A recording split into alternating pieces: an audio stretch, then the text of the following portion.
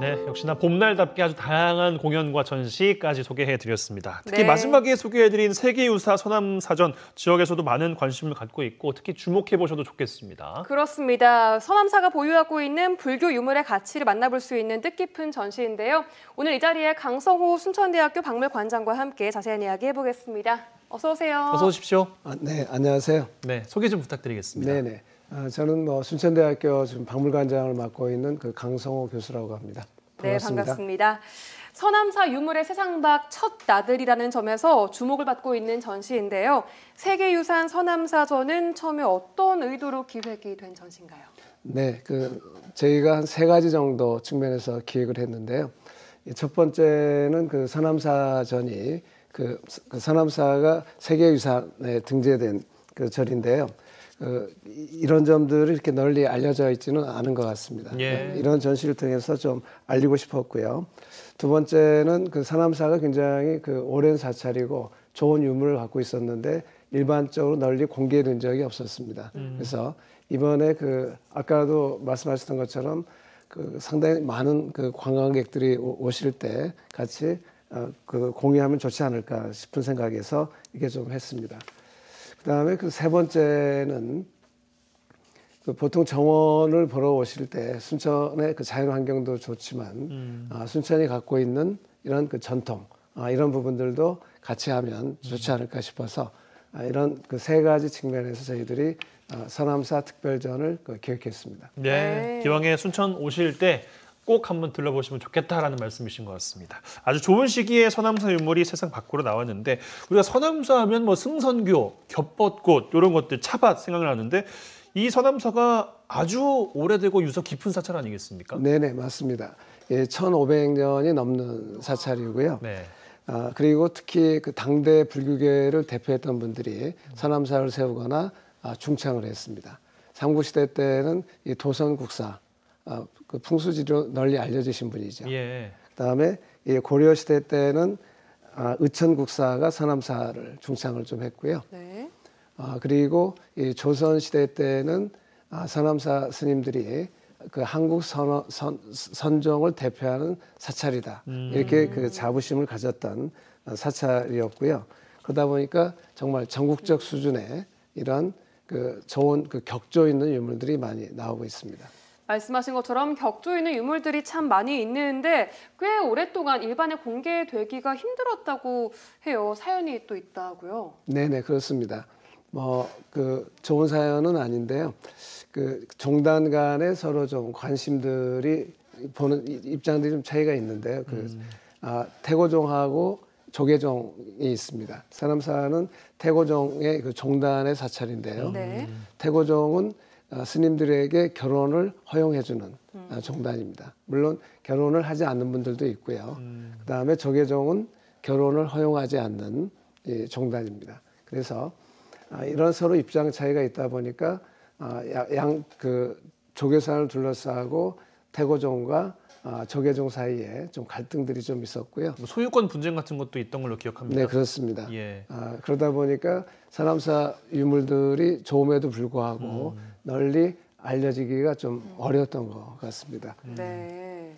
아, 그런데 다행히 작년에 그동안 70년 정도 걸린 아, 분쟁이 그 해결이 됐고요.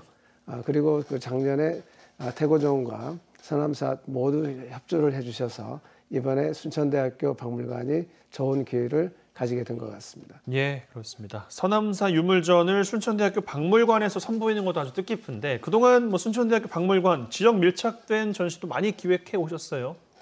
네 네 그렇습니다. 그 뭐 아시는 분들도 많이 있지만 모르시는 분들을 위해서 저희 박물관 자랑을 한번 해보면은요. 네. 저희 박물관은 서울대 박물관 정도 규모의 굉장히 큰 박물관이고요. 전남 동부 지역의 유일한 국립박물관입니다. 또 종합박물관이기도 하고요. 그 전시와 교육과 아, 유물 정리를 할 수 있는 굉장히 좋은 박물관입니다.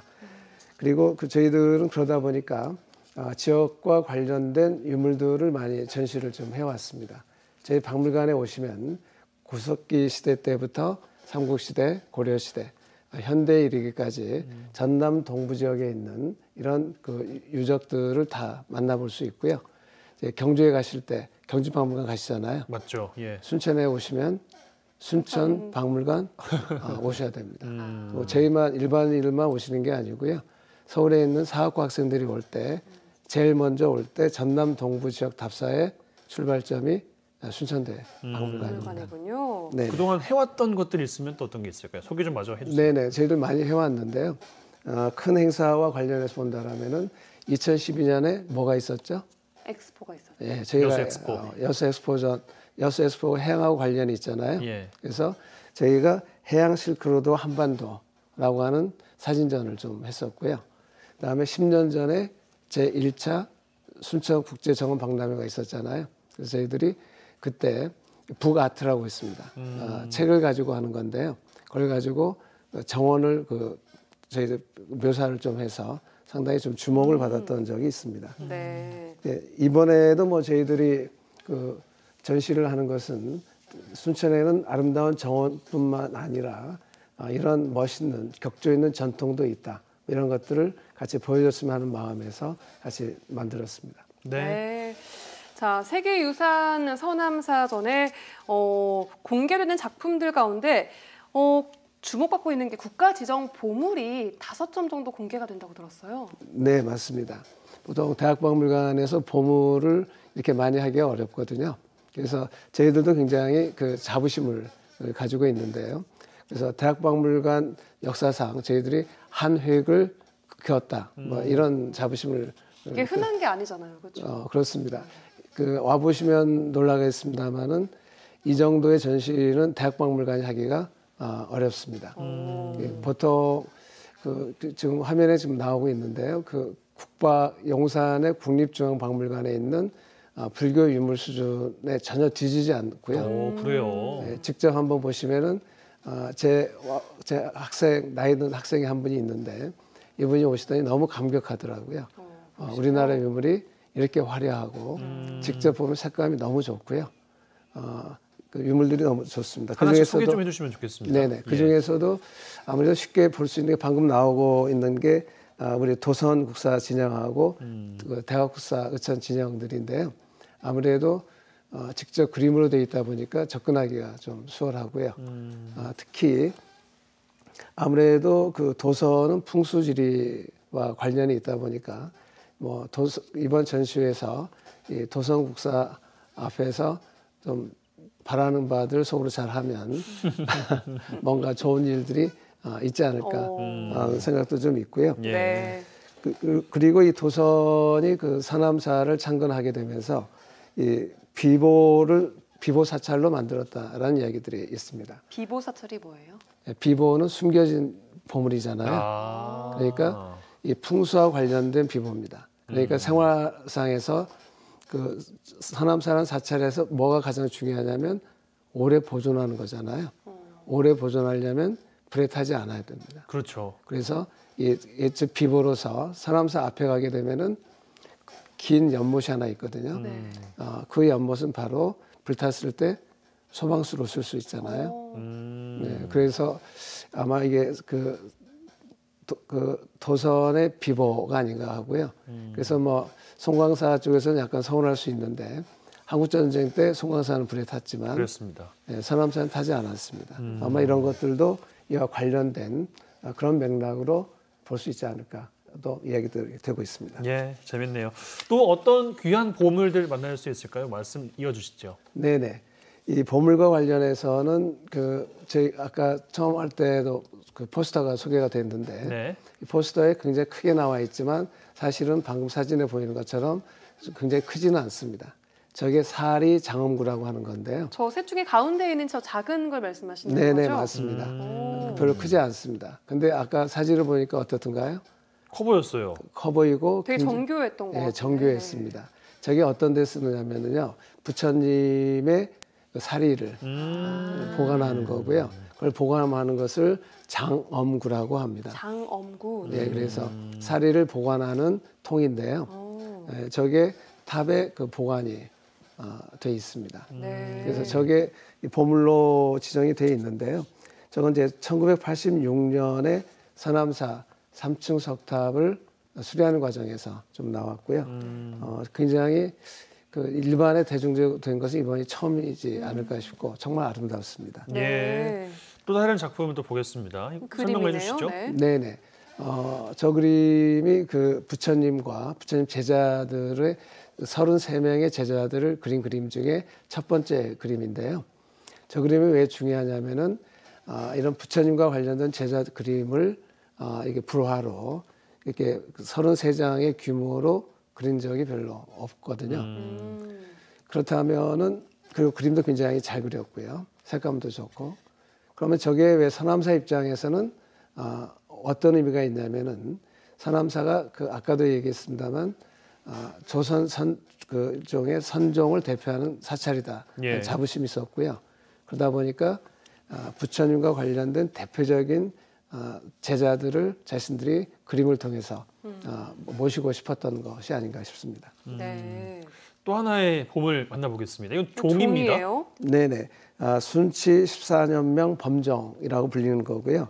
아, 1657년에 와. 제작이 정말 오래된 거네요. 네네 오래됐습니다. 네 오래됐다기보다는 아, 그 이건 원래는 이제 보성군에 가게 되면 그 대원사라고 있고요. 네. 벚꽃으로 유명하죠. 음. 이미 철이 좀 지났을 텐데요. 아, 이 범종 자체도 좋지만 저기에 명문이 있습니다. 아, 김용암이라고 하는 아, 이름이 좀 붙어 있는데요.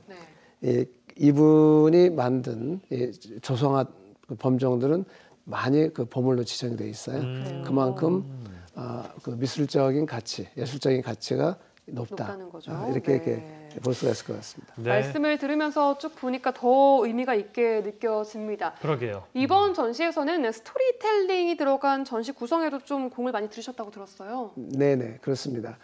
아, 저희들이 그 다섯 개 정도의 주제로 그걸 했는데요. 되게 스토리가 있습니다. 예, 전시회 가실 때 어, 스토리에 따라서 보시면 훨씬 나은데요. 네. 크게 그 다섯 가지의 스토리로 돼 있는데 첫 번째는 서남사의 역사를 저희들이 하고요.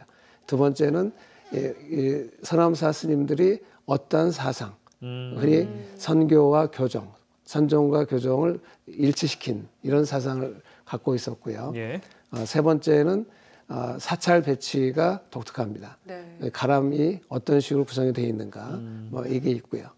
그 다음에 그 속에 있는 스님들이 그림도 그리고 아까 33 조사도처럼요, 또 많은 아, 그 좋은 불교 쪽에 쓰는 물건들을 만들었습니다. 그런 것들. 그다음에 마지막에 보게 되면은 직접 가보시면 마지막에 종소리를 들을 수가 있는데요. 네. 어, 무형의 의식들, 뭐 불교 예식이라든지 이런 것들, 어, 이런 맥락들을 쭉 볼 수가 있습니다. 예. 네. 어떤 의미가 담겨 있는지도 설명을 해주시면 좋겠거든요. 어떤 의미들이 좀 담겨 있을까요? 네, 그 박물관에 갔다가 서남사에 가면 느낄 수 있는 그것들을 쭉 담아 놓으신 것 같아요. 음. 네네 그렇습니다. 그 이쪽 전시를 통해서 네. 어떤 사남사의 어떤 내적인 이런 부분들을 그 이해를 하면 예, 예. 아 그러면은 직접 사남사를 방문했을 때 음. 훨씬 더 깊이 네. 이해를 할 수 있을 것 같고요. 그래서 이제 아는 만큼 보인다라고 하는 것처럼 그러겠습니다. 아, 미리 보고 가시면 더 좋지 않을까 싶습니다. 네. 네. 보물과 전남 유형 문화재 포함해서 120여 점이나 되는 문화유산을 옮겨왔습니다. 이걸 어떻게 다 옮겨서 전시를 했을까? 저는 이게 그러게요. 첫 번째로 구- 궁금하더라고요. 네, 그렇습니다. 사실은 그, 수- 그 순천대학교 박물관이 상당히 운이 좋은 건데요. 어, 그, 그 서남사 성보박물관이 2010년 이후로 십몇 년 동안 사실 휴관이 됐었습니다. 어, 그래서 저희들이 그좀 협의를 해서 그리고 서남사 성보박물관이 이렇게 규모나 시설이 이렇게 좋은 편은 아니거든요. 거기에 비해서 어, 저희들 자랑이긴 합니다만 저희 박물관은 상당히 시설이 좋습니다. 네. 규모도 크고요. 그래서 저희들이 서남사에 있는 거의 중요한 그 유물들을 이번에 거의 대부분 저희들이 가져올 수가 있었고요. 아, 그리고 이 과정에서 저희 그 박물관에 있는 직원 선생님들이 굉장히 고생이 아, 많았습니다. 뭐 이번 기회에 수고해 주신 박물관 선생님께 좀 감사를 좀 어, 드리고요.